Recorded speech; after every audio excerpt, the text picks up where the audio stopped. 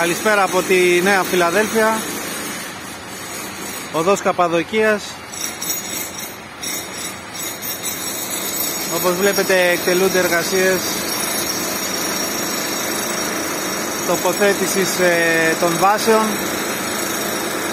για να περαστούν έπειτα τα αδιάτητα μεταλλικά πάνελ να μπουν και να κουμπώσουν ε, πάνω στις βάσεις.